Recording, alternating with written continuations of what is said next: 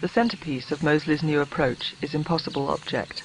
The impossible triangle can be represented on paper, but it cannot exist in three dimensions. It is a symbol of the fact that what we think of as reality is in part fabrication. The eight stories of the novel describe relationships which seem to be impossible. Mosley's hope was that in searching for patterns on a different level, readers might experience the phenomena that he was trying to write about. Uh, I think people now know what an impossible object looks like. There's, this, there's a triangle, impossible triangle, in which each side is drawn so that it makes sense, but the, all three sides don't, uh, don't add up. This thing can't exist in three dimensions. It goes forward where, where it should go back, and it goes backwards so forward. It doesn't all tie up. But at the same time, it is there, and in order to make sense of it, your, your, your eye has to go round. And in fact, we don't exactly make sense of it. We just say, this is there. Now, this is a thing I can only uh, comprehend by realizing it is, uh, it is both there and, as it were, no, not there at the same time. It's something I have to be in a moving relationship with. I have to be moving, looking at. And so this, I thought, um, was an extraordinary symbol of uh, the kind of the kind of st- st- st- state of mind that I was trying to show my characters held, and also of the style I was trying to write in so that my readers uh, would not feel they were being told something. They weren't being sort of informed. I wasn't sort of preaching at them. God knows, I hope not. But um, I was trying to write in a style in which their minds would um, have to be in, in movement what is, with what I was saying, and be in some sort of sympathetic movement what I was saying. And so they would say, as I see, as I see, then I'm, I'm not quite sure, I see that, then I'm not, then I see that. They wouldn't exactly be able to pin down what it was they saw. Just as I wouldn't be able to pin down what it was that I was seeing.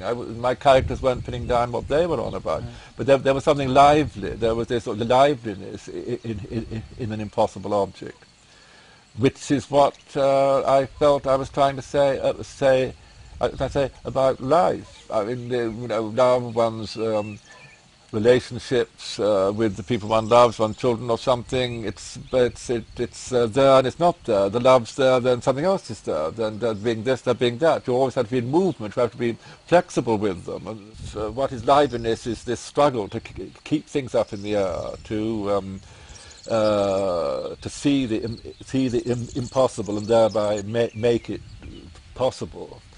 And this is a feeling of great wonder, and so which moves moves of out of the personal grab for love, wanting to hold it, wanting to possess it, and it really it really becomes a trust much more. It's just a trust that, mm-hmm. okay, if you love, okay, you, you actually don't have to grab. You're, you're, you're no longer in a, in a predicament of trying to juggle between grabbing and saying, okay, be free.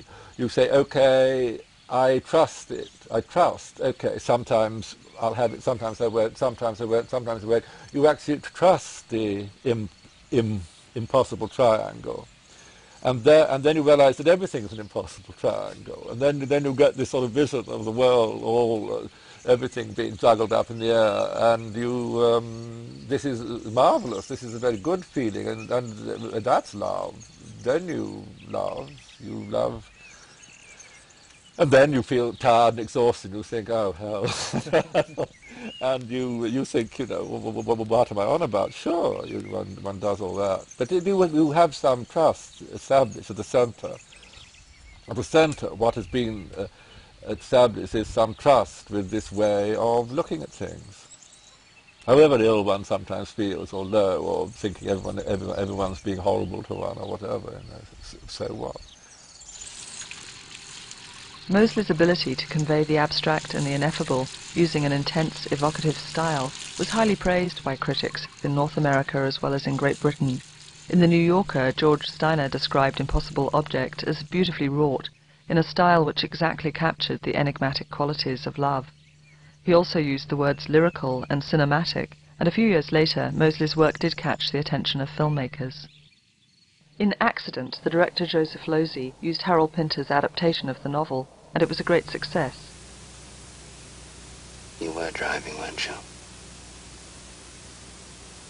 except that Pinter did not share Mosley's optimism, and in the film there is a scene of exploitation between Stephen, the philosophy don, played by Dirk Bogarde, and his student, played by Jacqueline Sassard, that contradicts Mosley's central positive theme. The novel is about Stephen's moral awareness and his battle for his better nature. Has she made advances to you? Oh, no. I'm too old. You're not too old for me. I know that.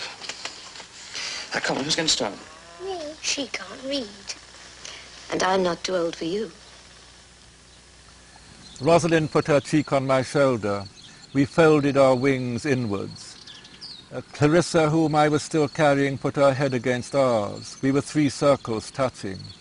Then Alexander, from where he clung to Rosalind's skirt, had to be lifted, heaved onto this tripod of emotions, into our arms, our joint arms, so that we would be together in the air like acrobats, a moment, a festoon. This thing that made life worth living, feet, legs, thighs, earth, sex. I thought, we will make love tonight.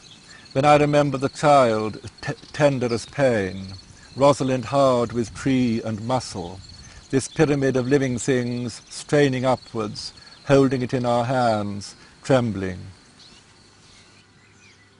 In 1973, Losey used a screenplay written by Mosley for a necessarily rather dark film called The Assassination of Trotsky. Then two years later, Mosley and the director John Frankenheimer began to make a more hopeful film based on Impossible Object, more hopeful in its attempt to rise above the melodramas of typical love triangles. People like an unhappy ending. Makes them feel good. I don't. God, Harry, I never know what's true and what isn't with you. This is true. Is it? Look, if we went off together now, we'd split up within a year. I don't believe that. I know you don't. You can't just grab love and squeeze it, or you destroy it. The only way I know to make love last is for us to be both together and apart. This keeps it alive. The other doesn't. So all poets know that. So does everyone else. Only they won't admit it. I'm not a poet. Of course you are. But you don't know it.